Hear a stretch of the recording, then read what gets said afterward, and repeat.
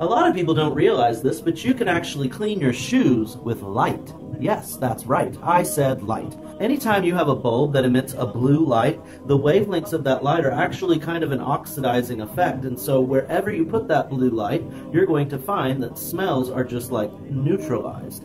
That's why you can oftentimes see when it says UV filtered, you'll see a blue light in there.